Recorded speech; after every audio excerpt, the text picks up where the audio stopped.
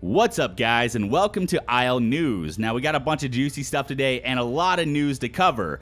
So, I'm going to go ahead and get started. First up, uh, not really newsworthy, except for just maybe me and people that are interested in the lore, but apparently 99% of my, my lore video based on Primal Carnage is wrong. Now, everything that doesn't have anything to do with Primal Carnage is most likely right because he didn't say anything about that.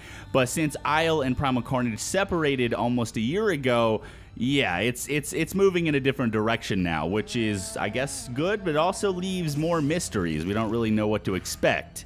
Next up is we got a brand new night vision system. Now, the way the old night vision system works, obviously, is it brightens everything up. It basically adds a lot of brightness to the scene, and uh, yeah, it's you can basically see better at night than you can during the day without night vision on. So and the way this new system is going to work is basically it's more like night vision, or at least pretty close to night vision. Um, you're going to see your immediate surrounding. It's it's all going to be contrasty and, and very gray tonish. And uh, you're only going to see creatures and or things that are in your direct sort of vision. Uh, anything on the outskirts is all going to kind of be silhouetted in black.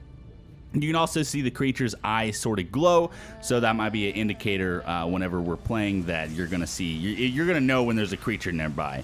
Now, this is good because it allows you to see pretty well in your immediate surrounding, and also doesn't allow you to see, like, people take advantage of night vision. They use it in, like, twilight zones, in darkness, and all that kind of stuff to be able to see everything. You can see more clearly in bushes and all that kind of stuff. With this sort of gray tone slash, uh, you know, all the surrounding being pitched in darkness, you know, you can't really see anything, so people can't really get a tactical edge. Anyways, new night vision system coming. Uh, it seems really, really sweet so far.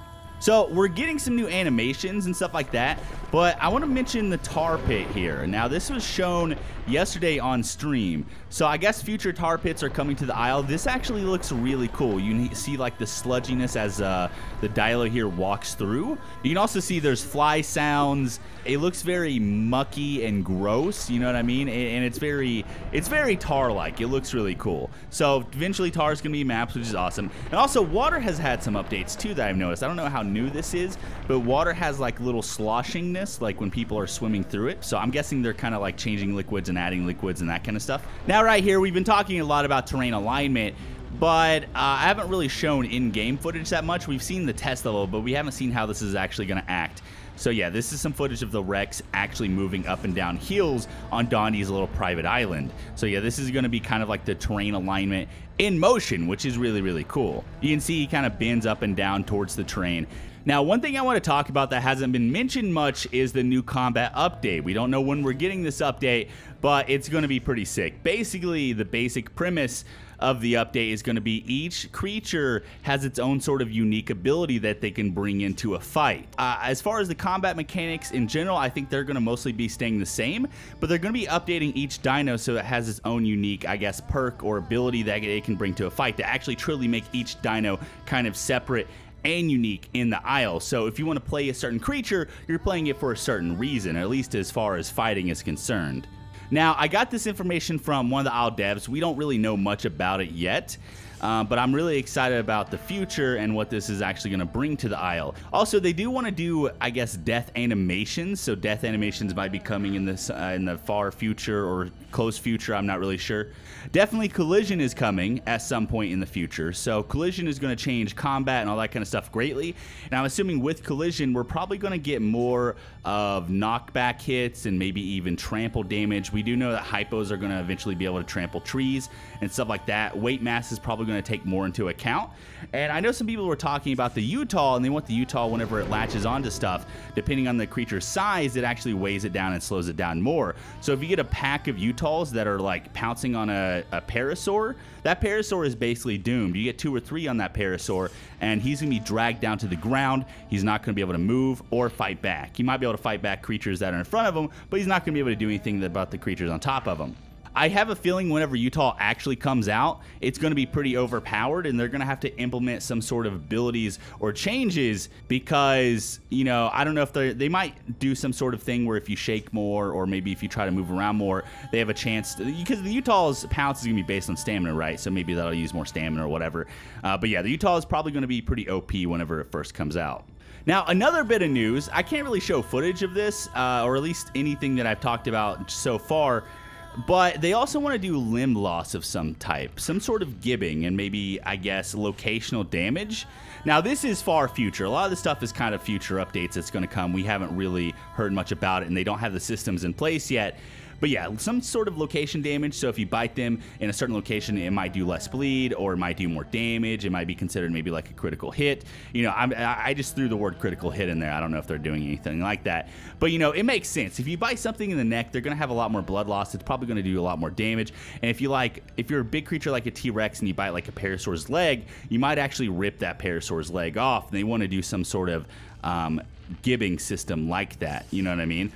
Now, once the creature's leg gets torn off, they're not really going to be able to move, so I'm not going to, like, not realistically, anyways. So I don't know if they're going to add any sort of animations or some kind of dynamic system to where they move only on three legs or they have to drag part of their body or torso around.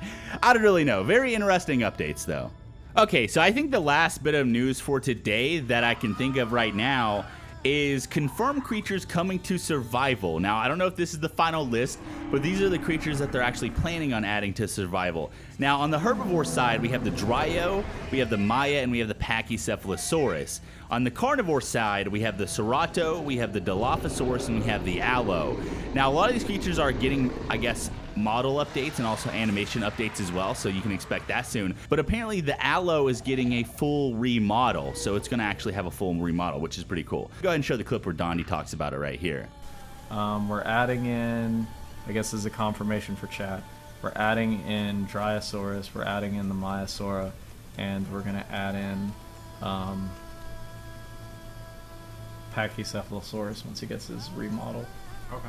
And then uh, for the carnivores, I think we're doing Ceratosaurus and Dilophosaurus and Allosaurus after he gets his remodel.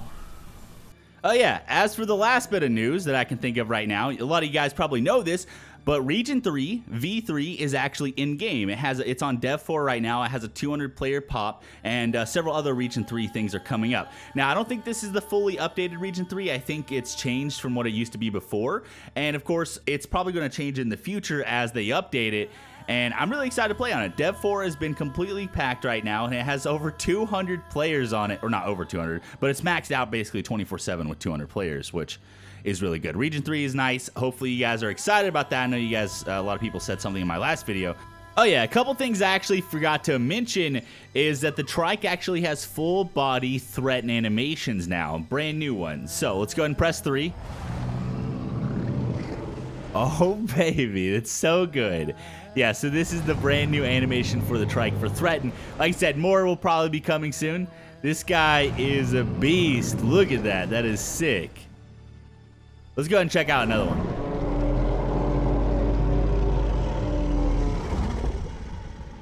Do trikes? Do trikes have updated sounds?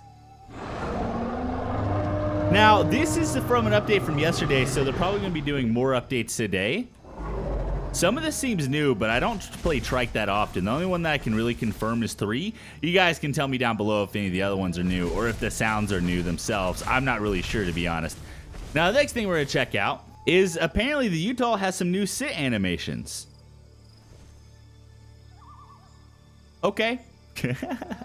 yeah, so new sit animations for Utah, so that's pretty cool. Anyways, yeah, so that's brand new. Nothing super huge, but uh, like I said before, I've mentioned like every video, they are updating everything, which is pretty sweet. Anyways, guys, that's basically everything for the news today. Hopefully you enjoyed the video. If you did, remember to smash the like button. I love your faces. And I'll see you guys in the next Isle News. If you guys have any suggestions or comments down below, let me know. What do you think about the combat update? How they should do it? What sort of dinos might have what sort of abilities? I don't know. Now, one thing I'm a little sad about is uh, there was no mention of the Anki or the Stego. But I think the Stego is coming, and hopefully the Anki does come. And um, hopefully, I mean, obviously the, the Deinosuchus is going to be in there, and the Quetz will be eventually. But yeah, those are the upcoming creatures that are confirmed right now. But yeah, tell me what you think, and I'll see you guys in the next one.